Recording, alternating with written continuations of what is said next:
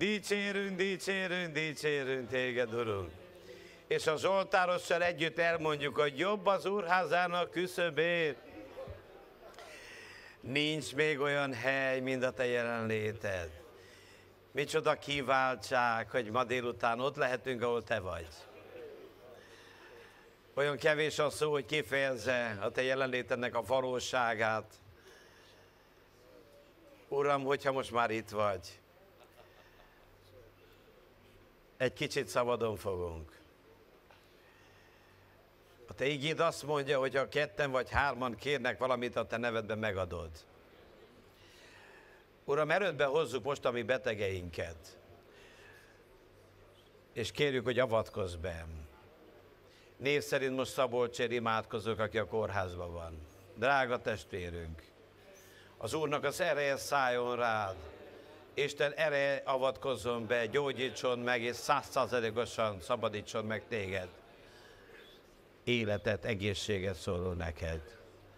Csak egy szó, Uram, és meggyógyul a szolgád.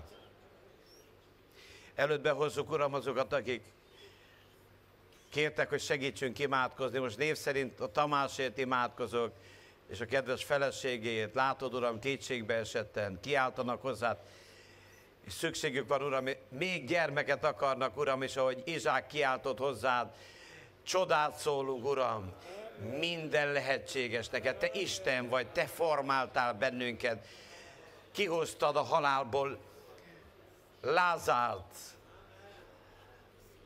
Egy szó, Uram, és meggyógyul a szolgád. Kérünk, Uram, áld meg. És még név szerint előttbe hozzuk azt a fiatal hölgyet, Szendét, akit a balesetet szenvedett. Nagyon súlyos állapotban volt a kórházban. Uram, te nem gyönyörködsz a bűnös ember halálán, hanem hogy éljen és üdvösségre jusson, és neked is szende életet szólunk, hogy ismerd meg az Urat, és jöjjön el az a nap, amikor ide jössz, és bizonyságot teszel, hogy az Úr felemelt, meggyógyítod, és bocsáss meg a bűneit, szabadítsd meg, és ad neki üdvösséget és egészséget az Úr Jézus Krisztus hatalmas nevében. És ha itt a teremben valaki most szükségbe van, szólj hozzá, Uram. Érintsd meg. Külön imádkozok azokért, akik fájdalommal küzdenek. Talán nem fizikai, hanem a lelkükben van fájdalom. Uram, öleld magadhoz. Gyógyítsd meg őket. Szabadítsd meg őket. Csodálatos a Te jelenléted, Uram. Köszönjük neked, dicsérünk téged, imádunk téged, köszönjük az egyházat, és köszönjük, hogy mi is részei lehetünk. Külön imádkozok most azokért, akik internet előtt követnek bennünket. Kedves testvéreinket, barátainkat, vannak, akik kórházban vannak, Istenek az ereje ott áldjon meg titeket, ahol vagytok. Oda küldje el az Úr az ő angyalát, és hozzon ki téged éppen és egészségesen. Azokért is imádkozok, akik egyedül vannak, talán elcsüggedve, keserűen. Vigasztald meg őket, Uram. Töltsd be a szobát a te atmoszféráddal.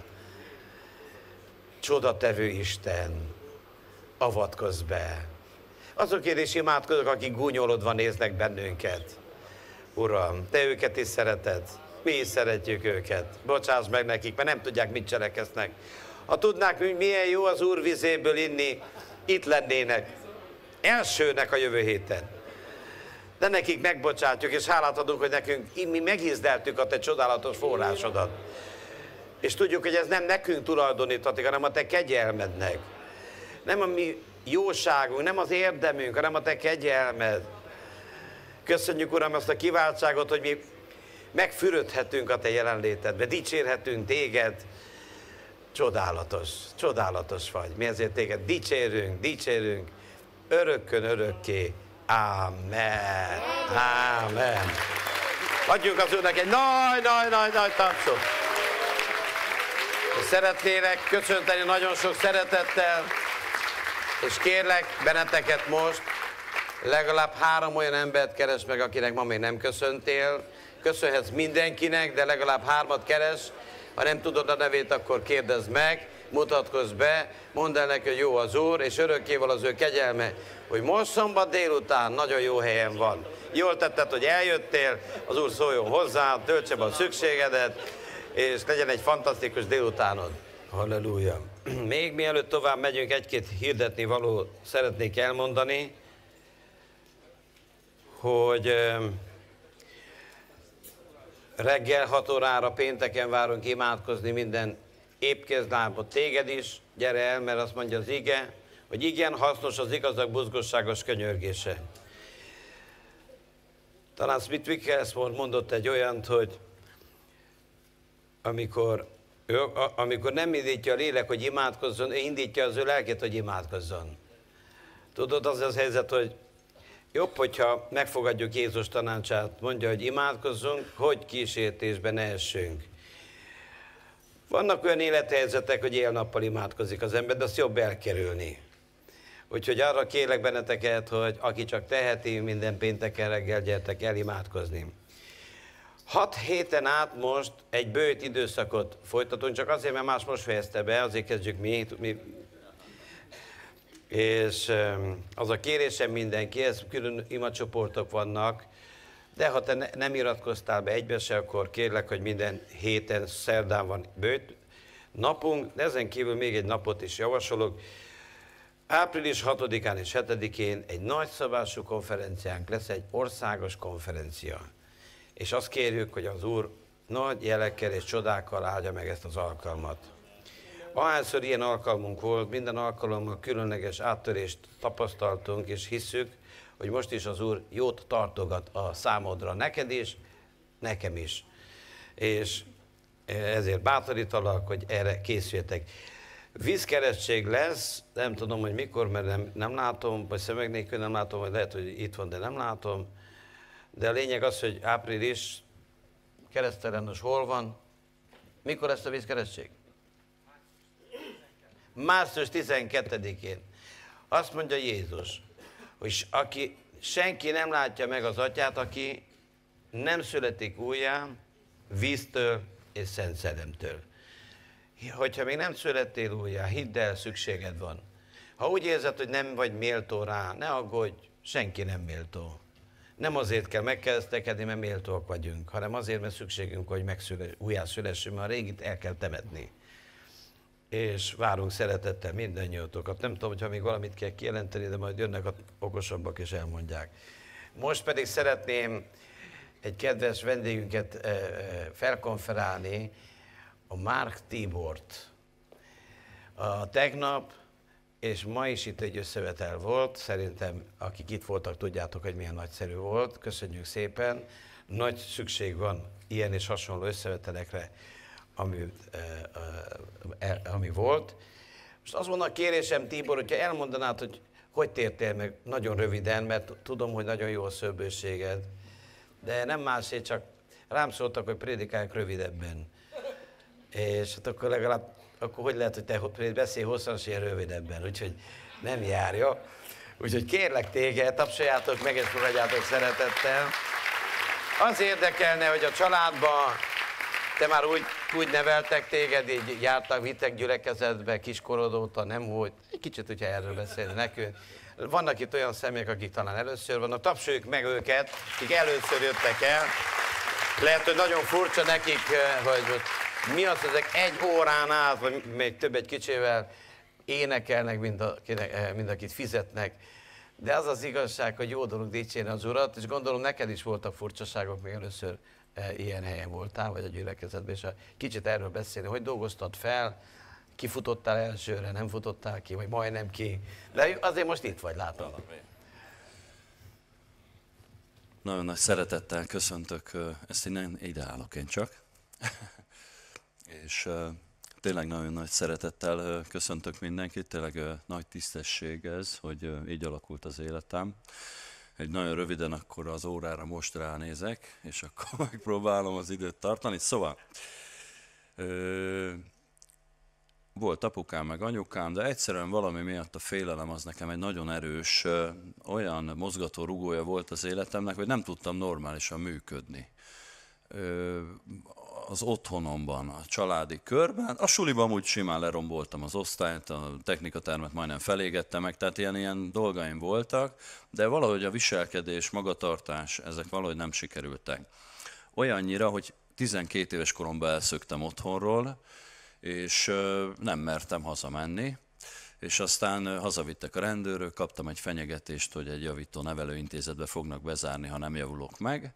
Mondtam, hogy jó, úgyhogy inkább még egyszer elszöktem otthonra, mert hát tudtam, hogy a javulás az körülbelül nagyjából 0 százalék, hogy sikerülni fog. És megint hazavittek a rendőrök, megint elszöktem, megint hazavittek, kirúgtak az általános, az alapiskolából, bekerültem egy másik iskolába, ahol már olyan emberek voltak, akik már szőrösek voltak, és még mindig csak hetedik osztályosok jól megtanítottak majd, hogy milyen dolgoktól mit fogok csinálni, és hogy hogyan. Úgyhogy bejött Magyarországra a House Party péntektől vasárnapig, vasárnaptól péntekig, péntektől vasárnapig, tehát minden nap szilveszter, így fogalmaztunk mi ezeken az időkben, és Nagyjából mindent megettünk, megittunk, rengeteg partnerem volt, mindenbe is jól beletettem magam, és 19 éves korom környékére pedig meghalt egy gyerekkori barátom, így egy kábítószerezős buli után, és az a helyzet, hogy az apukája üvöltözött velem a temetőbe, hogy miért nem vigyáztam a gyerekére, ami által egy akkora teherbe kerültem, hogy miattam halt meg valaki, hogy na azt már tényleg nem tudtam földolgozni. Eddigra már az érzelmeim, a depresszió, a félelem, a, a, a keserűség, a meg nem bocsátás, a harag, a düh apám felé, hogy hogy kérhet tőlem ilyet, hogy változzak, mikor hát ő se változik, meg ráadásul ivott. Úgyhogy így nem volt egyszerű dolog, de az, hogy meghalt egy barátom, és úgy néz ki, hogy miattam, na az tényleg mindent vitt, és akkor több próbálkozásom volt. 12 éves koromtól kezdve folyamatosan fönt voltam a tizedik emeleten, hogy majd leugrok, több kábítószeres túladagolásaim voltak, sok mindenféle ilyen, hogy gyorsan halljak meg. És akkor ezen a ponton volt egy olyan rész, amikor egy ilyen marok, konkrétan 102 darab 2 mg-os rivotrilt megettem, hogy akkor eldőlök, rámesik a falevél, és akkor meg lesz a temetésem. De nem így alakult, és akkor még itt jó hosszasan mesélném, a nézők, hallgatók biztosan ismerik és tudják, sokan itt jelenlevők közül is, hogy hogyan folytatódik a történet. De arra térnék rá, hogy egyszer egy ember azt mondta nekem, hogy Jézus szeret. Én eddigra már voltam mindenhol, úgyhogy előkaptam a bőrcsökiből a rózsafüzért, elmondtam a hiszek egyet, az üdvözlégy Márián, úgyhogy mondtam, hogy a Jézus a spanom, úgyhogy ismerem, minden rendben van, és mondta, hogy hát ez nem valószínű, hogy... De nagyon megérintett ez a hölgy, utólag, egyébként gyorsan elmondom, úgyis házasság hete van, egy iskolába találkoztam vele, egy gimnáziumban, egy esti gimnáziumban, azt, hogy hogy keveredtem oda, na, három óra se lenne elég, de lényeg az, hogy kikötöttem egy gimnáziumban, mindig voltak emberek, érdekes, hogy mindig voltak állomások az életemben, és bekerültem egy gimnáziumba, és egy lány mellé akartam ülni órán, mert hogy ő jó beszélt angolul, én meg mindig olyan emberek mellé ültem órán, akik jók voltak az adott tantárgyból, hogy a tanár lássa legalább a készséget, mert ugye könyv nem volt életemben a kezembe, és a dolgozat van, ne csak a nevem legyen a papíron, ugye? És akkor mondta, hogy nem ülhetek mellé. És én ekkor már egy nagyon nagyon-nagyon-nagyon önimádó ilyen, nagyon sok barátnőm volt, és azt hittem, hogy én egyébként egy sztár vagyok amellett, hogy haldoklok, de hogy úgy éltem meg, hogy mivel mindenki meg akarta menteni az életem az egész fiataltól a nagymamákig, és valahogy úgy éltem meg, hogy én egyébként sztár vagyok, és egyszer azt mondta, hogy menjek el vele egy ilyen éneklős, táncolós helyre, de akkor ezt még ő nem mondta el, csak annyit mondta, hogy gyere el velünk a gyülibe. Hát én meg már voltam akasztott emberen kívül minden más is, úgyhogy mondom, elmegyek, és bementem egy ilyen helyre, és tapsoltak, és táncoltak, és énekeltek az emberek. Én konkrétan hipót lőttem a vénámba, lementem a Dunapartra, és egy két millis inzulinos fecskendőbe fölszívtam két milliliter hipót, hogy az beszúrom a vénámba, hogy ez marja ki a szívemet a helyéről, és halljak már meg végre. Na, betoltam, és elmentem dolgozni. Úgyhogy elszaladtam. Bementem a gyülibe, há, há, ó, ting, és így elfutottam. De olyan szinten elfutottam, hogy még a hölgyel is alig akartam szóbálni, aki elvitt.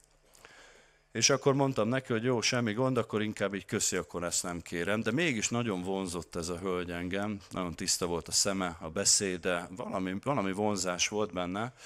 Na fél év után úgy mentem el, hogy már nem csak ő beszélt nekem Jézusról, hanem akkor volt mellette egy másik kolléganőnk, és így ettem a szendvicset, mai napig megvan a kép, így harapom a szendvicset, és közben Jézus szeret. Meghalt érted? Feltámadt a halálból, legyőzte a halált, minden, meg, jó, tudom. És már mondom, jó, akkor elmegyek. Na, elmentem, de mondtam a hölgynek, az előreugrok, 16 éve feleségem azóta ez a hölgy, már hogy már mindjárt elfogy az idő.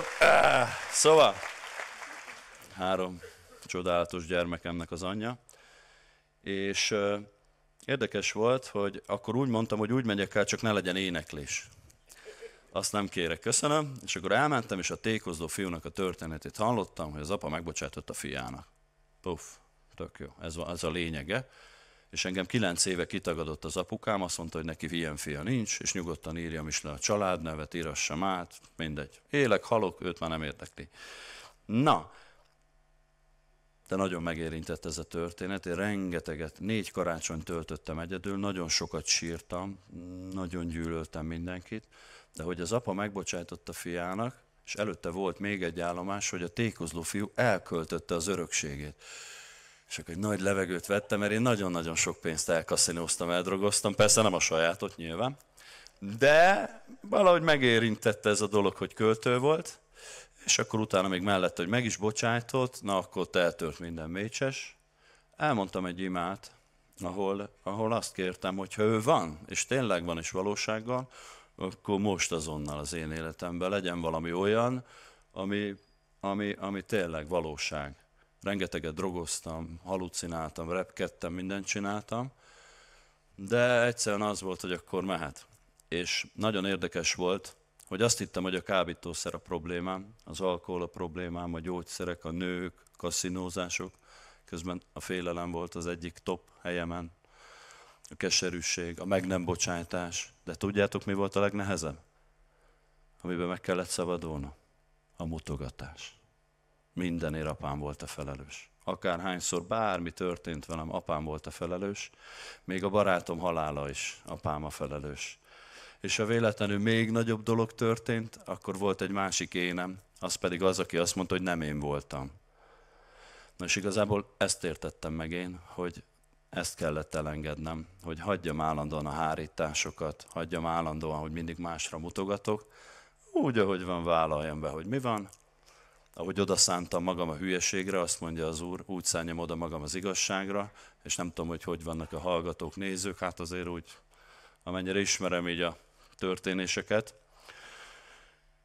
És ez volt a lényege a történetnek. Utána hazamentem édesapámhoz, miután elmondtam ezt a megtérőimát, leszakadt rólam 16 év alkohol, drog, gyógyszerek, paráznosság, tisztátalanság, hazudozás, lopás, csalás. Hát ez mondom, ez a teljes körű szolgáltatásban benne voltam, és a főnököm megkérdezte egy hét után, most járt le az időm, még, még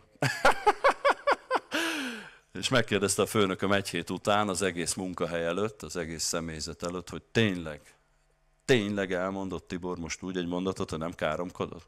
Hát mondom, én már új ember vagyok, csókolom. Persze fogalmam se volt, hogy mit mondok, mert körülbelül három és fél évig csak gyógyultam ezekből alaphelyzetből. Az, hogy merre vagyok arccal előre, azt se tudtam. De egy nagyon nagy szeretet légkör vett a gyülekezetben. Olyan emberek hívtak meg kávéra, akik azt kezdtem aggódni. És furcsa volt, hogy, hogy jó légkör, szeretet, minden.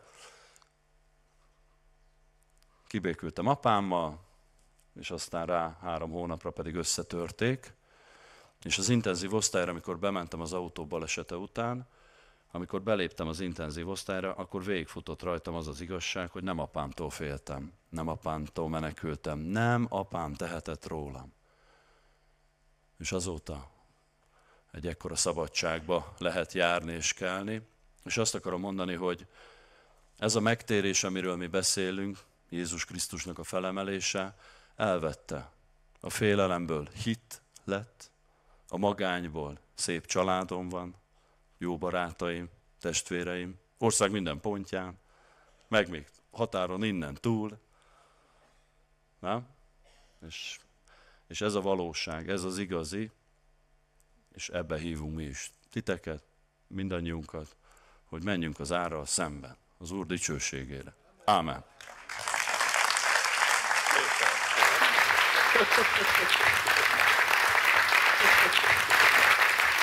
Halleluja, köszönjük szépen. Nagyon áldás volt nektek? Köszönjük szépen, ez egy jó bizonyság számunkra is. Egy fontos dolgot akartam mondani, és elfelejtettem, hogy a prédikációnk közvetítése YouTube-on holnap estétől ez a prédikáció megtalál. Minden prédikáció egy nap késéssel a YouTube-on felkerül, magyar, román és angol felirattal. Tehát ha vannak olyan barátaitok, akik románul tudnak, de szeretnék ezt a prédikációt eljuttatni neked, akkor a, a, keres rá a Youtube-ra, és küld el nekik. De akár, hogyha angolok, akkor is. Ez csak akartam egy technikai dolog. Ma pedig egy fantasztikus történetet fogok nektek felolvasni, nagyon-nagyon izgalmas, és remélem, hogy nektek is olyan izgalmas. Tehát kérlek, nyissuk a Bibliánkat a Bírák könyvé 15. részéhez. Bírák 15-11-től eh, egész a 19-ig. Sámsonnak az életéből egy piciny kis szeletet fogunk felolvasni, de hitem szerint nagyon aktuális tesz mindannyiunknak, és hiszem, hogy a végére ti is majd legalább olyan izgatottak lesztek, mint én. Bírák könyve 15. rész 11-től olvasom. Ekkor három ezer ember ment le Júdából Etámba, a sziklabarlanghoz, és mondta Sámsonnak, nem tudod-é, hogy a filiszteusok uralkodnak mi rajtunk? Miért cselekeded ezt velünk? Ő pedig mondta, amiképpen cselekedtek ők velem, én is úgy cselekedtem velük. És mondanak neki, azért jöttünk, hogy megkötözzünk, és hogy a filiszteusok kezébe adjunk téged. Samson pedig mondta nekik, esküdjetek meg nekem, hogy ti nem rohantok rám. Azok felelének neki, nem, csak megkötöző, megkötözünk, és kezükbe adunk, de nem ölünk meg téged. Azután megkötözték őt két új kötélel, és felvezették őt a kőszikláról.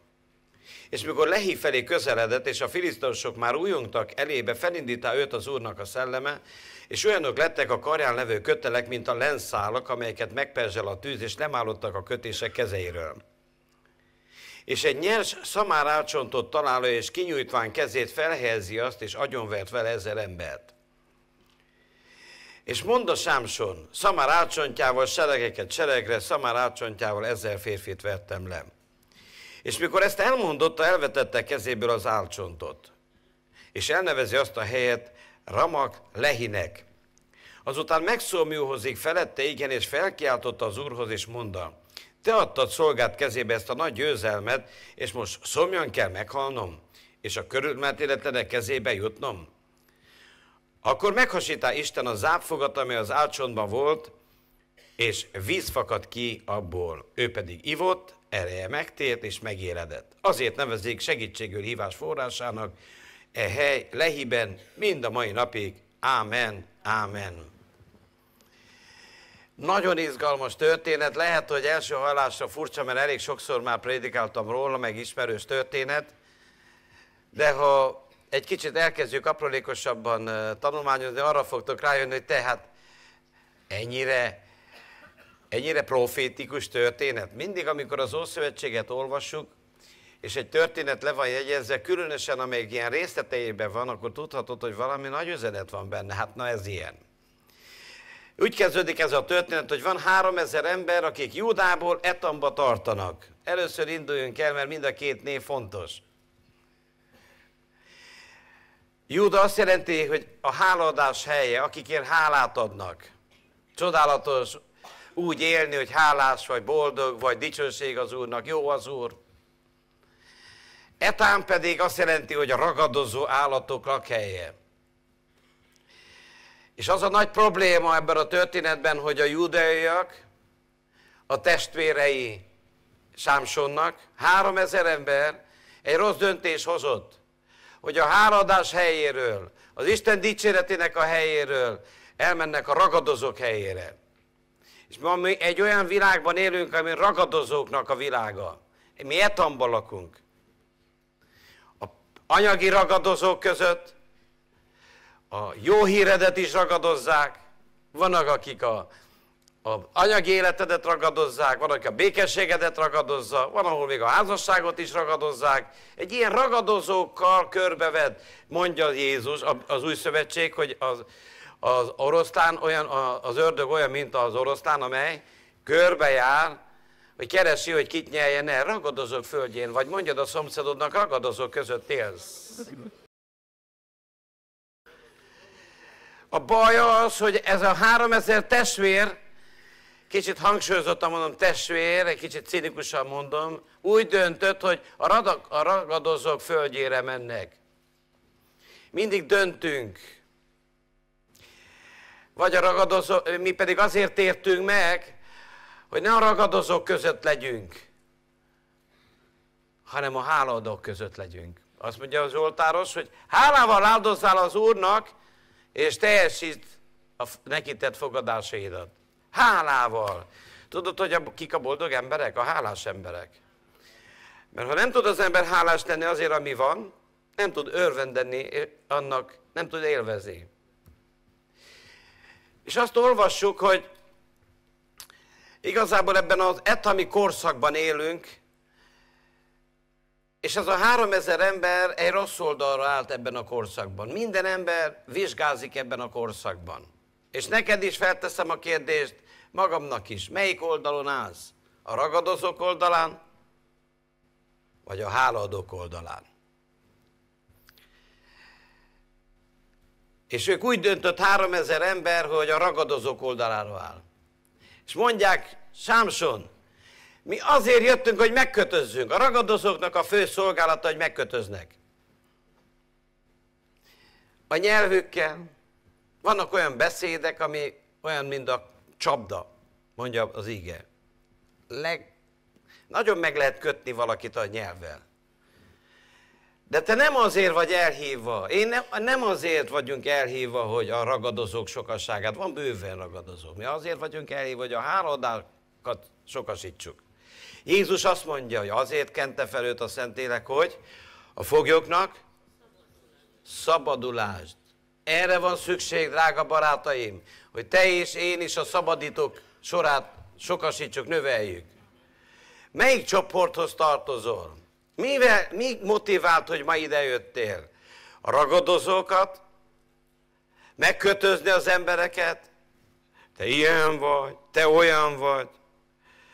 Nem tudom ti, hogy vagytok, de több emberrel beszéltem, akik mondták 10-20-30 év után, hogy még most is a fülembe cseng, hogy apám azt mondta, nem lesz belőled senki, semmi. Én is emlékszek, már nagyon homályosan, mert az, az úr kivette a szívemből, de azt emlékszem, hogy a töri tanárunk voltak ilyen mondásai. Ő nagyon hangsúlyozta, hogy a majomból lett, és mikor ránéztem, mindig gondoltam, hogy ő tényleg oda ráhúz, hogy lehet az ő családja.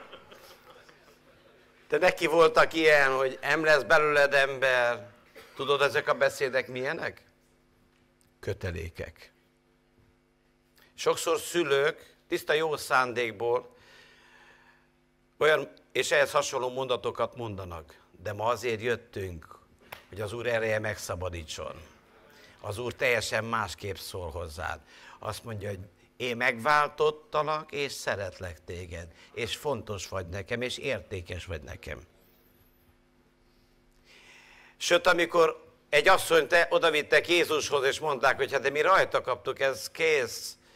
Azt mondta Jézus, tudod, kinek van joga megkötözni, vagy követ dobni rá? Aki közületek nem védkezett. Pontosan van az eredetében úgy szerepel, hogy soha semmit nem védkezett.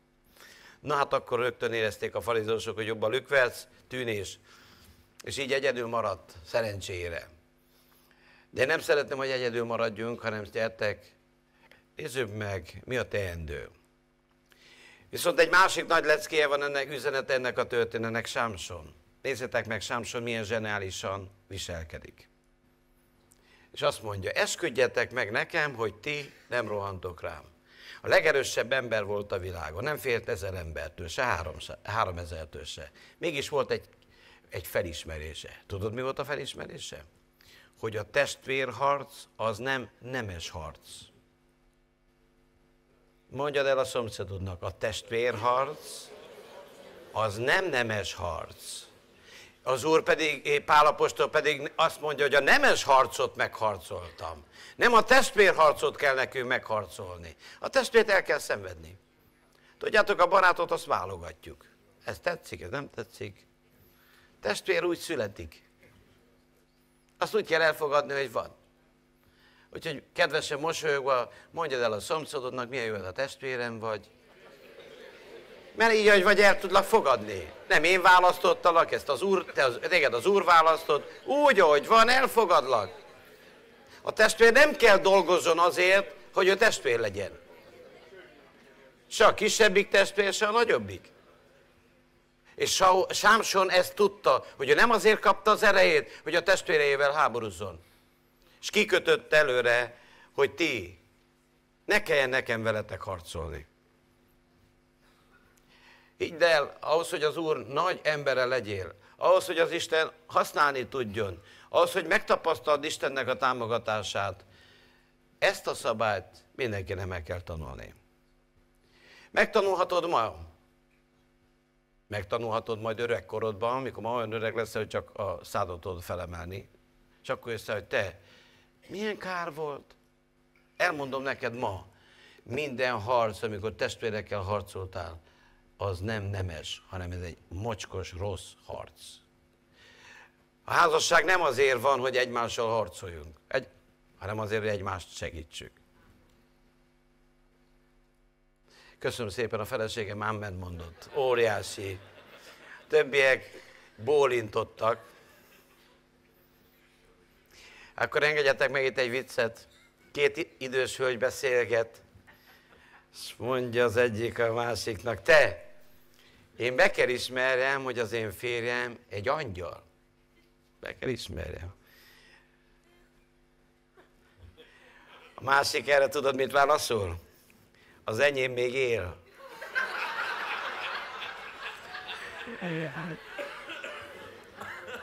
Nem azért vagy házas, hogy harcolj. A, a, a, a, a, a házastársi háború az nem nemes harc, az testvérharc. A vitatkozás egy nővel olyan, mint mikor szobabiciklizel. Jól elfáradsz, de helyben maradsz. Semmit nem jutsz előre, semmit. Csak akkor miért csinálod? Értsd meg, esélytelen vagy. Ők profik ebbe. Hát az angyallal vitatkoztak. Hát Ábrahám nem mert volna vitatkozni. Az, jó, hogy Sára belement. Mondja, ő bizony nem nevetett. De nevettünk, nem nevettem. Azt, hát mondom, és képzeld, de nem ütötték kupán. Székely lett volna az angyal, bajba került volna Sári. Ne harcoljatok. Hidd el, sokkal-sokkal nagyobb kárt okoz a konfliktus, mint az a kár, ami miatt konfliktus kidől. Tesz, mondok most egy példát, lehet, hogy a házastársat úgy, minden héten átrendezi a házat. Mert úgy dobja le ruháit, mindig, hogy, hogy, hogy díszesen, egyszer keresztbe, egyszer hosszára, szereti. És te, aki szereted a rendet, persze, szeretnéd, ha rendbe tennéd. És nemes harc eddig. De ha elkezdesz vele veszekedni, lehet, hogy rend lesz, de milyen áron? hogy olyan hideg lesz a lakásban, mint a mélyhűtőbe? Gyere ennél, nem vagyok ilyes. Kész az ebéd, mondd meg anyád, apádnak, mondd meg anyádnak, nem vagyok ilyes. Rend van. Akkor kérdem tőled, nem jobb, hogyha azt a büdös zoktit megfogod, és bedobod, kidobod az ablakon ember. És elmész, veszel újat. Mint hogy lefagyjon a házasságod. Hát az, annak van ára, a házasság, jó házasságnak ára van, az nem magától lesz. Azt jelenti, hogy fizetsz. Tűrsz, engedsz, és utána tűrsz. És már vége. Nem kell más tenni. Tűrni, rájössz arra, hogy fontosabb a békesség, és az, hogy a, más, a társadnak jó legyen, mint neked. Azt mondja a Biblia, szeres fele barátodat, mint önmagadat. Nem magunkat kell szeressük. Nem is olyan rég olvastam, talán Billy Graham mondott egy ilyent. Ha tévedek, akkor bocsánat, de valami ilyen volt, hogy megy az ifjú pár az öreg pásztorhoz, hogy és kérde az öreg tőle, hogy boldog akart, boldog szeretnél lenni? Ez az ifjú pár mit mond? Igen, pásztor. Akkor ne, ne, ne esküdjetek meg. Miért? Mert a házasság nem arról szól, hogy én boldog akarok lenni, hanem arról szól, hogy legyen a házastársam mellettem boldog. És ha ezen dolgozunk, akkor elérjük a boldogságot. Mert az ége ezt az útat szabja meg a boldogságnak. Azt mondja, hogy aki mást üdít, akkor maga is üdíl. Nem azt mondja, hogy vigasztald magadat, csiklincsad a, a hónajadat, hogy érezd jól magad, a másikat egye meg a fenem mérgébe, mit érdekel, csak te legyél boldog. Nem így működik a házasság, hanem mi jó, a másik, a Gabi, érted, neked magyarázom.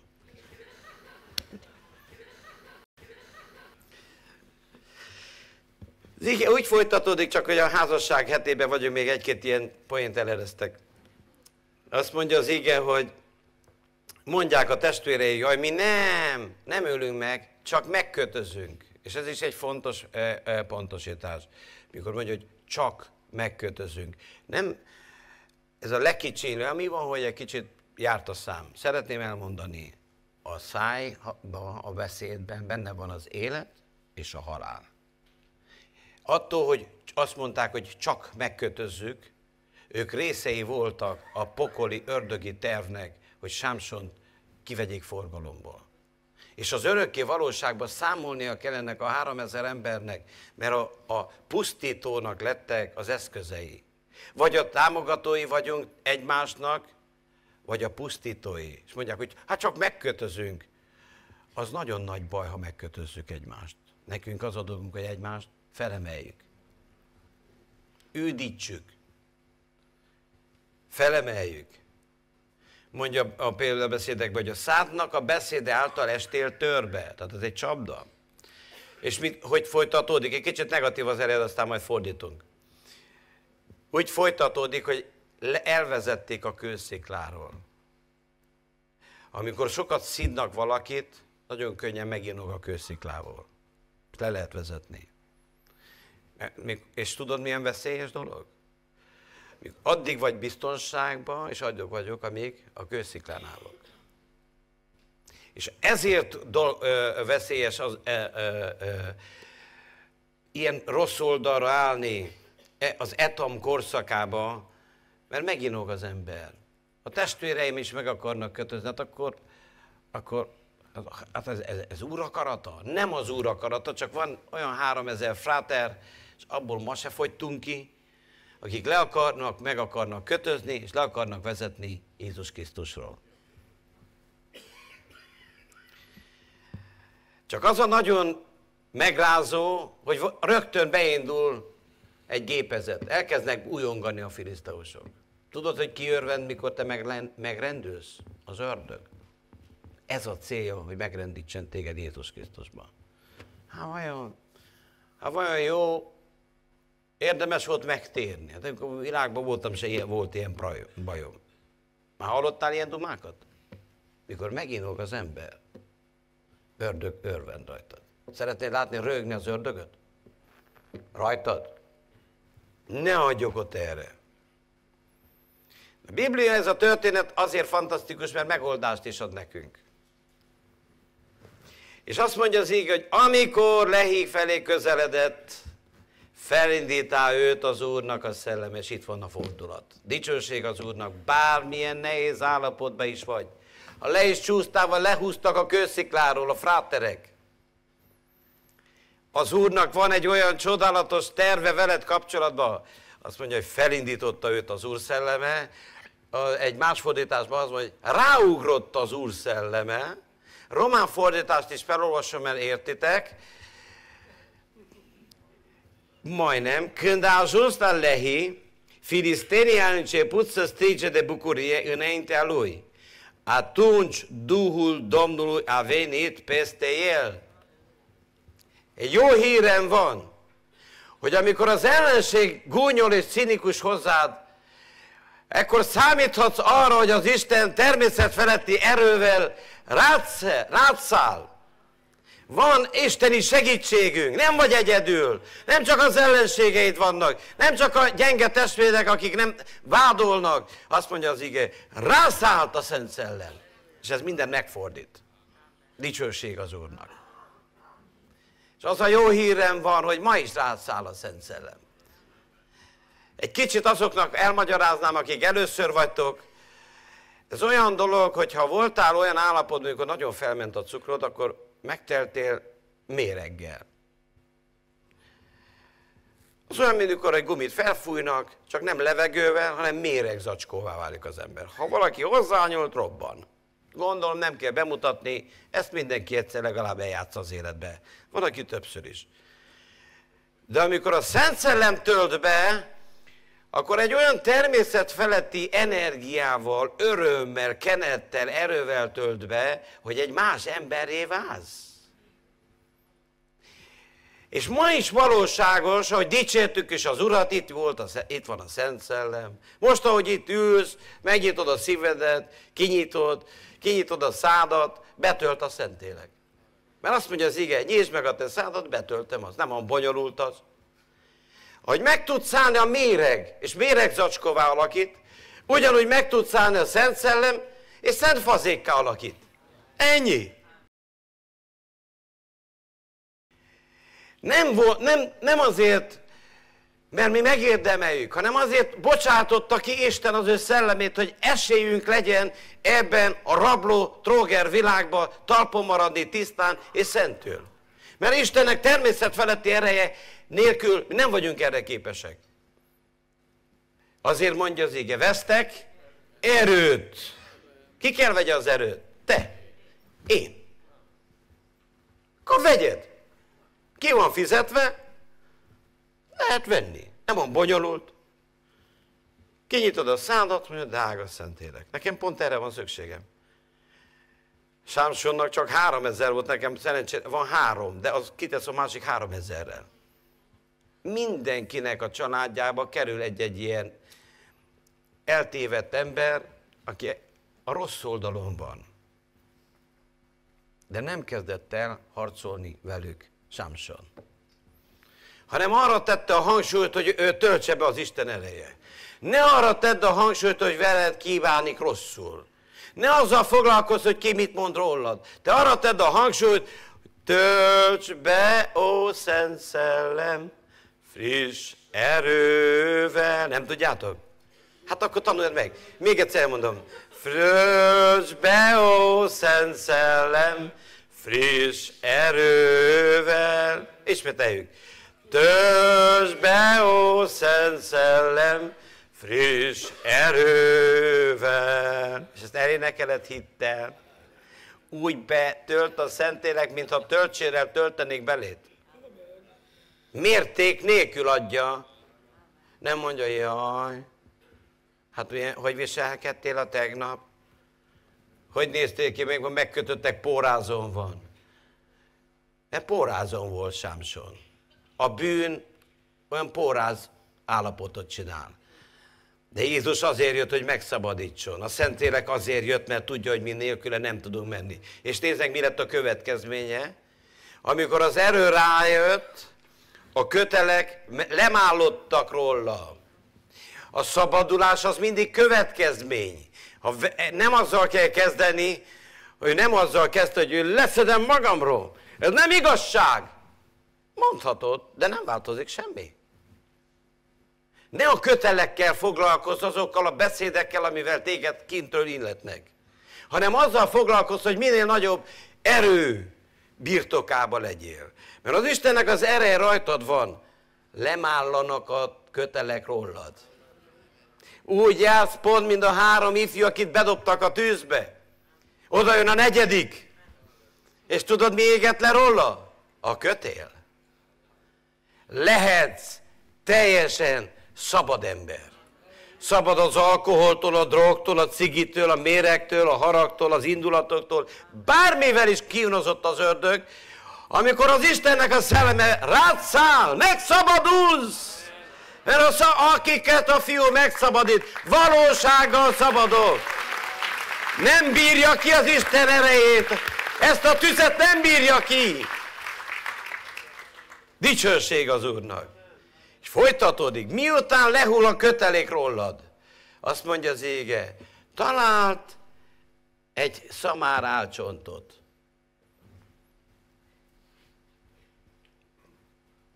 Mondok még egy viccet, mert még mindig komorra néztek rám. Beszélget a vénasszony a vén, az öreggel, ülnek a padon. És hosszan néz az öreg, kérde a feleségét, hogy te, a szamarak mennyit élnek? Az asszony kérdi, rosszul érzed magad?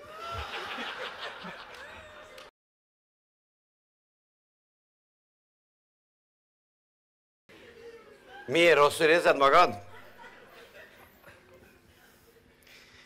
A szamarácsont az az ember, akit így lenéznek. Az az ember, akit lerágtak, és rágnak. Hülye, félkoltya, félkegyelmű. Sámson élete függött, és sorsa attól, hogy ő észrevette, meg ne, számára kiemelkedett, felismerte, hogy az a csont az ő életének a megmentője, és a helyzetét azzal tudja fordítani. Az a helyzet, hogy mondja, hogy megtalálta, Isten a te életednek is rendelt egy szamár álcsontot. Neked is van. A kérdés, hogy megtaláltad, vagy nem találtad meg. Ki az, az, a szamár álcsont? Elmondom. Azt mondja az ige, és a világ nem telenítés megvetetteit választotta ki magának az Isten. A semmiket, hogy a valamiket megszegyenítse. Vagy mondja Pál apostol, mert úgy vélem, hogy az Isten minket apostolokkal utolsókul állított.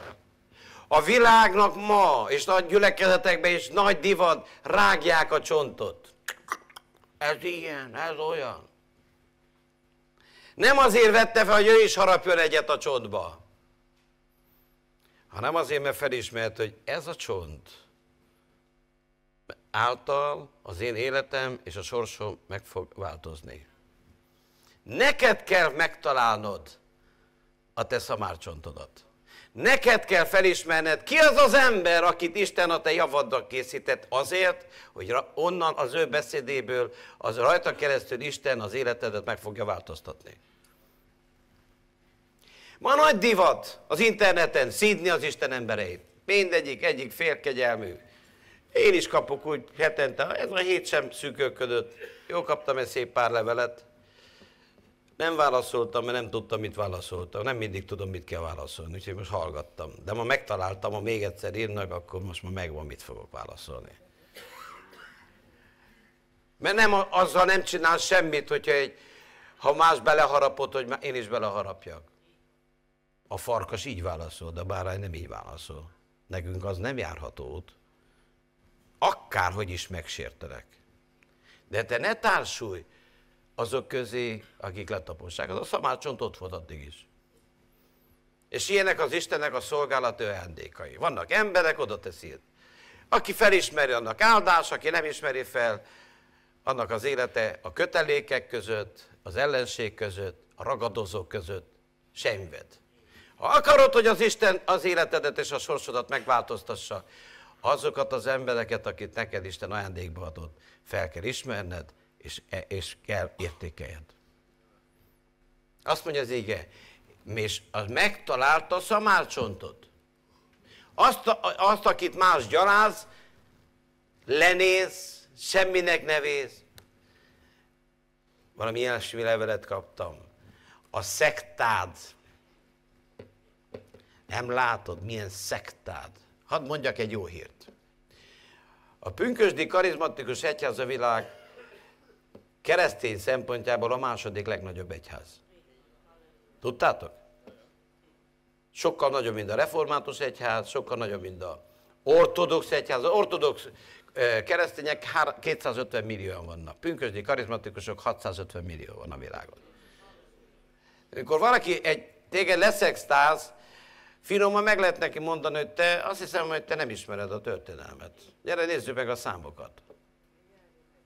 Járja meg magát.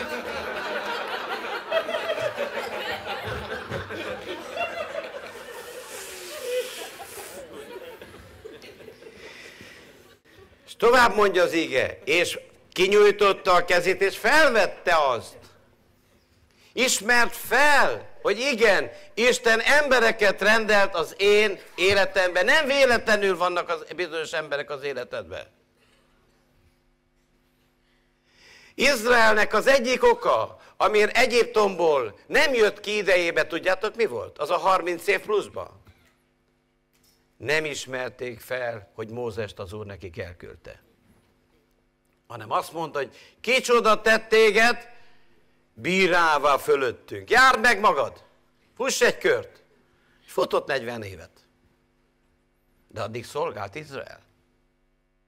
Isten nem erőlteti rád soha a szolgálatát. Ott vannak előtted. Az emberek az Isten szolgáit ma szamár csontoknak nézik. Hülye gyermek az egész. Egy se normális. Sőt, nagyon sokan küldnek engem. Kéne, jó lenne, mennél te is dolgozni. Az ezet nyugdíjkorszakban, hol menjek? Ilyen öregen nem alkalmaznak. Nem is olyan rég valaki mondta, te dolgozni is jó lennél amúgy. Olyan felemelő érzések ezek. De nagyon kedvesen mondták, tehát nincs semmi harag, csak mondom. Drága testvéreim, az, hogy a nagy különbség, hogy ebben a rabló tróger világban, amiben élünk, mert ez van. Hát csak ez a helyzet, csak ki kell nézni. Végigjöttél a, a Dosagyögyön, akkor tudod már, miről beszélek. És hogyha még egy Mellig utcába is mentél, nem megyünk be a politikába, nem menjünk be. Az Isten legyen irgalmas ez a városhoz. De a nagy különbség az, e- az emberek között és a sorsunkban az, hogy felismerjük-e Isten ajándékát, azokat az embereket, akiket mások harabdálnak, taposnak, megaláznak, és értéktelenek, és sértegetik. Ezzel ellentétben Sámson elment, és felismerte, és mondja, így egy felemelte. Akit más megaláz és leköpte, emelt fel. Csak azért ne írjál te is oda, szélfuvat van, nem indul, biztos, hogy van. Szerintem nem mi fújjuk a szelet. Jobb, ha jó módjára úgy hallgatunk, sok minden nem értünk. És legtöbbször azt tapasztaltam meg, úgy már látjátok, én sem, én már tapasztaltam fiatal vagyok én is, hogy eh, amikor a dolgoknak több oldalát megismered, egy dolgot bán, bánok legalábbis. Hogy miért járt a szám akkor, amikor csak felét tudtam. Jobb lett volna hallgatni. Isten szabadítása, az nem mindig úgy van, hogy lelógat egy angyalt csörlőn, hogy segítsen ki hanem egy szamárácsontot tesz oda. Ha felismered, azt jelenti, hogy a tiéd, ha nem ismered fel, fuss még egy kört. 40 évet húzott rá, bocsánat, 30 évet pontosan, de 40-et is tehetjük. Izrael, és tudjátok, hogy milyen egy baj? Hogy még 40 év után sem tudott bejutni. Mert a szívük Egyiptomban maradt. Nem számoltam, de majd a bibliaiskolásoknak lehet egy jó házi feladat, hogy számol meg, hányszor akarták megölni Mózest. De legalább ötször, tízszer. Jézus eljött, tökéletesen tett minden, meggyógyította a betegeket, a halottakat feltámasztotta, a vakokat megnyitotta a szemét, legalább kilencszer olvasod a János Evangélium egymás után. Meg akarják ölni. Ma egy ilyen világban élünk, rabló világ. Ha van valami, azt el akarják rabolni.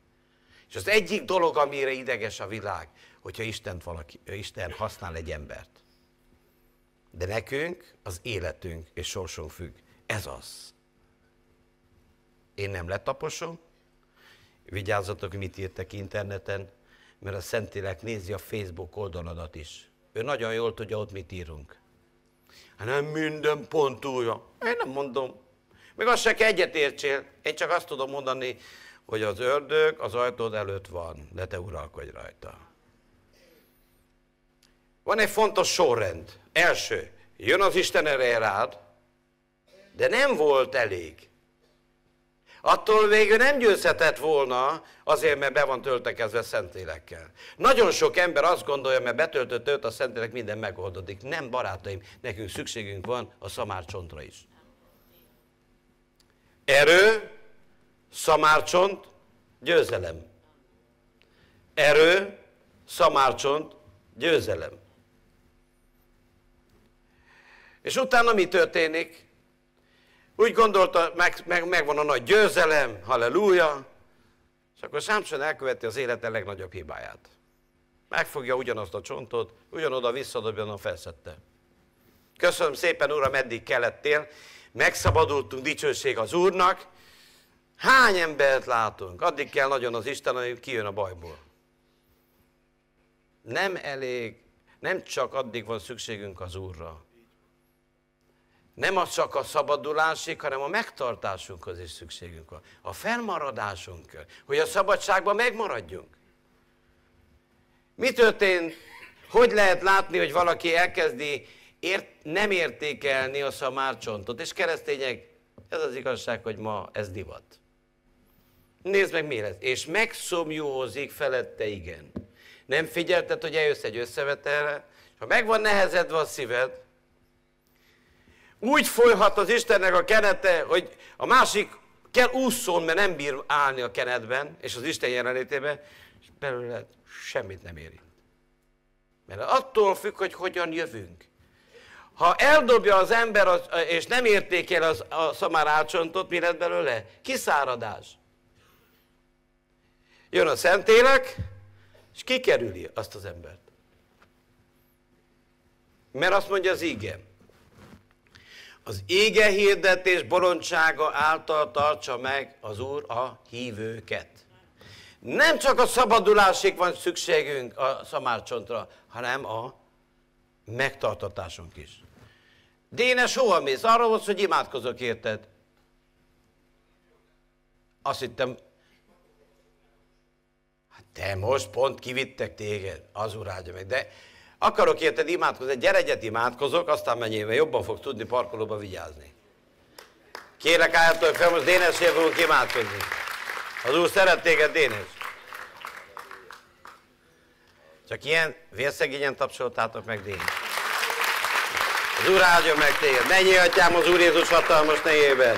Imádkozunk Dénesért, és kérlek, hogy az Úrnak az ereje járja át, töltsd be, szabadíts fel, Istennek az ereje csordultig töltsd be, hogy lehújjanak róla is a láncok, lemáljanak a kötelek róla, és egy győztes, bátor, jó keresztény tudjon lenni az Úr Jézus Krisztus hatalmas nevében. Ámen! Ámen! Sok sikert neked! Úr áldja Neked szolgálatot vagyok a part. Mennyi semmi baj! Az Úr áldja meg téged! Köszönöm szépen, helyet foglalhatok. Történet ugyanakkor, mielőtt még egy csodálatos epizódja van ennek a történetnek. Miután rájött arra, rájött arra Sámson, hogy nagyon nagy bajban van. Győzelem után, győzelem ide vagy oda, de víz nélkül maradt.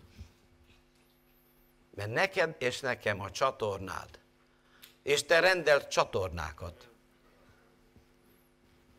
Nem lehet csak úgy helyettesíteni őket. Nézzük meg, hogyan kap újra erőt, mert ez, ez segít bennünket arra, hogy hogyan lehet megújulni az Úr erejébe. Érdekel benneteket? Tapasztaltad már úgy, hogy elfáradtál az Úr, az úr múltján? Meglankadtál? Kivel fordult ez már elő? Érdekel? Gyertek, mert nagyon gyorsan elmondom. Azt mondja az ége. Azután megszöhömözik felette, igenis, felkiáltotta az Úrhoz. Az első, amit az ember át kell változtasson, az az ima élet. Nem csak akkor kell imádkozni, amikor úgy érzed, hogy hú, de jó. akkor nagyon nem akarod, nem kívánod, te is unod, szerinted az Isten is unja, hogy imádkozol, akkor is kiáltani kell. Nem azért kell imádkozni mindig, milyen jól érezzük magunkat. Az imának nem ez a lényege. Hát Jézus a, a, a, a Gecsemáné kettében szerintetek hogy érezte magát? Hát nem volt olyan feldobódva. Nem mondta, ó, de csodálatos volt ez az ima. Ó. Hanem vért izadott. Borzasztó volt. Elhitt az imádkozó társait, ment, hogy nézze meg, hogy hogy állnak, úgy horkoltak, hogy a vadisznok elkerülték a helyet. Szevasz. Senkire nem számíthatott. Nem azt mondta, hát akkor nem imádkozunk, hanem visszament és újra imádkozott. Az nagy titok, hogy a program, ha akarsz szabadulást, növeld meg az ima időszakodat. Duplázd meg. Ez az egyik. Második. Azt mondja, hogy ha nem szabadulok meg, meghalok. A korrekt felismerés a titka, egyik fontos titka a szabadulásnak. Amíg hazudsz magadnak, jó, nem vagyok én megkötözve, nem épp olyan súlyos. Tudod, én azért, az, az, én azért nem járok gyűlibe, de mindig az úrral vagyok pásztor. Csak az úr nincs veled, barát. Most hadd szóljak hozzátok, nem tudom melyik kamerába kell nézni, egyebben belenézzek, hát csak eltalálom. De drága barátaim, értsd meg, az ige hirdetés bolondsága által van a megtartatás. Hogyha interneten nézte volna, hogy a zápfok hogy néz ki, Sámson most is ott ülhetni, mehetnénk látni, na itt hót meg Sámson, itt akasztották fel.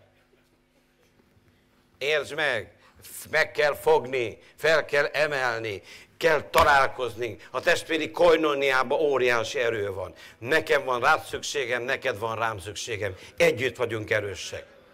Azt mondja egy János egy hét, hogyha közösségünk van egymással, Jézus Krisztusnak a vére megtisztít minket minden bűntől, de ez szükség van rád, és szükség van rám. Ilyen csontokra, mint te, van, aki szárazabb, van, aki nem. És azt mondja, hogy hát hogyha nem, nem iszok, én meghalok. Tudod, hogyha nem jár be a Szent Szellem, akkor életveszélybe vagy? Ha ki vagy száradva, akkor életveszélybe vagy. Mondd meg a szomszédodnak, vigyázz, mert ha kiszáradsz, életveszélybe vagy. Nézem, hogy hogy mondjátok egymásnak, de olyan bátran mondjátok, hogy ettől nem, ezt nem veszi komolyan. Nem vicceled, komolyan mondjad. Ha kiszáradsz, életveszélybe vagy. Rendkívül fontos, hogy mindig telve legyünk az Úr erejével. Telve legyünk a Szent Szellemmel. A harmadik dolog, aminek történnie kell, és ez a kegyelem, hogy Isten meghasítja az ápfogat. Olyan csodálatos, hogy újra eljössz az Isten tiszteletre, az egy csoda, hogy Isten a számodra új forrás fakaszt. Minden tiszt, Isten tisztelet egy csoda. Ha betölt a Szentélek, olyan jó az Úrral találkozni. De neked szükséged van, nekem szükségem, hogy Isten beavatkozzon. Másképp ez nem megy. De Isten nem szakítja, nem ö, ö, ö, hasította meg a zápfogat, amíg nem imádkozott. Mikor Péter elkezdett süllyedni a, a, a, a tengerbe, addig nem fogta meg Jézus a kezét, még nem kiabált. Hát, ha tudsz úszni, Petikén, vágjad, hogy menjen. Pillangóval könnyebb. Elfáradsz, fordulj háttal. Nem. Nem kiáltott. Uram! Bajba vagyok! Ha nem, segítsz, meghalok! Jó kiáltani az Úrhoz. És megvan írva, hogy hív segítségül engem a nyomorúság idején, és én megsegítlek. Ne mutasd meg, hogy hát én már tudod. Én is mikor fiatal voltam, akkor nagy tüzes voltam, hát most már elmink a gyűlibe, tudod, egy-egyit eszked, de hát azért mert fázik, hagyd békét. Drága barátaim, ha nem szenvedélyesen szolgálod az Urat, nagy bajba vagy. Az utolsó idő kétfelé ossza az a keresztényeket. Kettő típusú lesz. 50-50 százalékban. Az egyik olajos, a másik kiszáradt. És a száraz keresztények pont oda mennek, mint a trógerek. Azt mondja, vigyétek ki őket a külső sötétségre. Mert mi nem magunktól tudunk, magunktól nem tudunk keresztények lenni. Ahhoz természet feletti erőt kell hordozni. Te csak egy eszköz vagy, de kilakik az edénybe, az a, az a lényeg. Kit hordozunk az életünkben, a szívünkben. És azért van szükség, és azért halt meg Jézus. Azért sebesítetett ő meg. Azért döfték át az oldalát, azért szegezték meg át a kezét, hogy te és én megmeneküljünk. Elfáradt Mózes. Nagyon felbosszankodott az úr rájuk, megcsinálták az aranybornyút, és akkor azt mondja neki az úr, Mózes, gyere fel mellém a kősziklára. Miért? Mert a, a szikla hasadékába rejtelek el téged. Van egy hely a számodra, a szikla hasadéka. Ma nekünk a legcsodálatosabb hasadék, Jézus Krisztus sebei. És amikor elfáradt Mózes, azt mondta, Uram, már nem, ma nem jössz felül, nem menjünk tovább, meg nagyon nehéz tovább menni. Mi is hozták ki, hogyha nem segítsz engem. Azt mondta, tudod mit, gyere a közsziklára, megújulsz. Rávett az Úrnak az ereje úgy, hogy mikor onnan lejött, keszkedőbe kellett jöjjön, mert ragyogott az arca. Nézz a tükörbe, hogy ragyogsz most. Este megijednének tőled, úgy. Vagy pedig ragyogsz. Kereszténység igazából az ember arcán kisugázik valami, vagy a jó indulat, vagy nem az. Az Úr öröme, sugázik. Dávid, Dániel, mikor lejött Dávid, Dániel, az Úr áldjon meg. Amikor lejött Mózes a hegyről, látszott, hogy feltankolta a Szentélek. És akkor nem olyan, hogy hát, nincs egy kicsi vized, haló Kéhe Józsi, 40 napja nem ettem. Tudod mi? Nem is tudom, halucinálok, nem bírom tovább. Hanem megújulva. Olyan formában volt, hogy mikor Jézus is a hegyre ment, imádkozni, tudod, kivel találkozott? Mózes sem. És nem hogy a vén öreg jön, hanem az Úr dicsősége szállt le. Csodálatos az Úr dicsősége. A megújulás mindig az Úr Jézus Krisztus sebeinél van.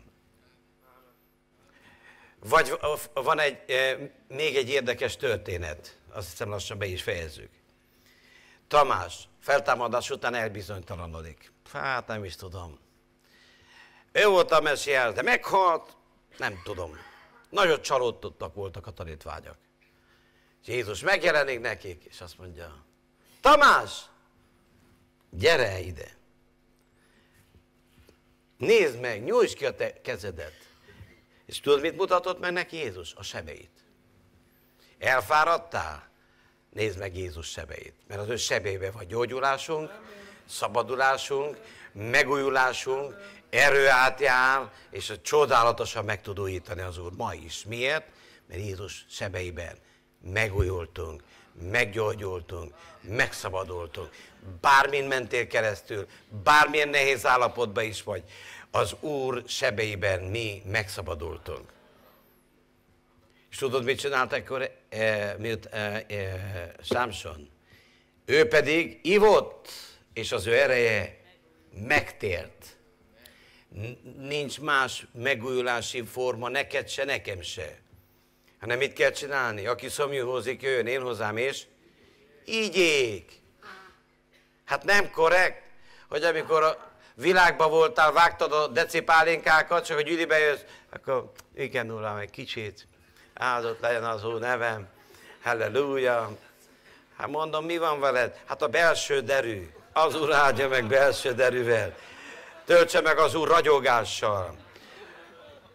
Értsd meg, drága barátom, ma is inni kell. Azt mondja Jézus, ha valaki szomjúhozik, jöjjön én hozzám, és igyék.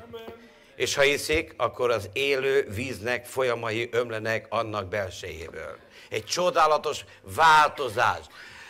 Nem sivatagra hívott el minket az Úr, hanem oázisra. És ennek a forrása Jézus sebei.